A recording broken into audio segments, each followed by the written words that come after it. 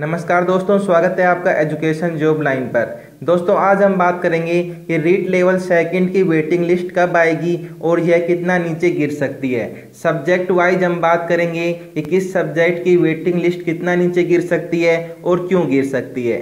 लेकिन इससे पहले दोस्तों, यदि आपने अभी तक हमारे इस चैनल को सब्सक्राइब नहीं किया है तो आप वीडियो के नीचे आ रहे सब्सक्राइब बटन पर क्लिक कर दीजिए और साथ में इस घंटी का आइकन को ज़रूर दबा दीजिए, जिससे आपको हमारे आने वाले सभी वीडियो और गवर्नमेंट जॉब्स की सभी अपडेट आपको तुरंत प्राप्त हो सके। साथ ही दोस्तों, आप हमारे टेलीग्राम ग्रुप को भी ज्वाइन कर सकते हैं और कोई भी समस्या होने पर वहाँ हमसे आप पूछ सकते हैं। हमने हमारे टेलीग्राम ग्रुप का लिंक वीडियो को डिस्क्रिप्शन में दिया हुआ है तो वहाँ से आप इसे सीधा ज्वाइन कर सकते हैं। इसके अलावा दोस्तों, आप हमारी ऑफिशियल वेबसाइट एजुकेशन को भी विज़िट कर सकते हैं। तो दोस्तों, सबसे पहले मैं आपको यह बता दूँ कि कुछ अभ्यर्थी यह कह रहे हैं कि रेट लेवल सेकंड की कट ऑफ़ बहुत ज़्यादा गई है और इसका विरोध हो रहा है और कट ऑफ़ दोबारा आएगी। तो इसमें हम आपको साफ़ साफ़ बता देते हैं कि रेट लेवल सेकंड की कट ऑफ़ दोबारा जारी नहीं होगी। जो जारी हो चुकी है, वही रहेगी। लेकिन इसकी वेटिंग लिस्ट ज़रूर आएगी और यह दो से तीन परसेंट नीचे गिरेगी। इसकी वेटिंग लिस्ट आपको अक्टूबर में देखने को मिल जाएगी।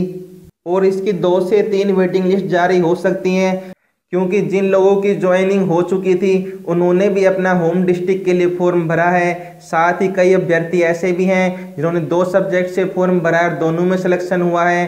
और इसके अलावा मैथ साइंस में तो कुछ अभ्यर्थी ऐसे हैं, जिन्होंने इसमें भी फॉर्म भरा है, क्योंकि अभी तक उनकी पिछली भर्ती कोर्ट में चल रही है।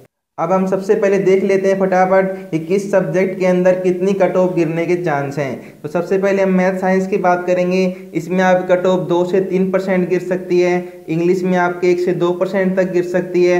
एसएसटी में सबसे कम गिरेगी, ज़ीरो पॉइंट पच्चीस परसेंट तक गिरेगी।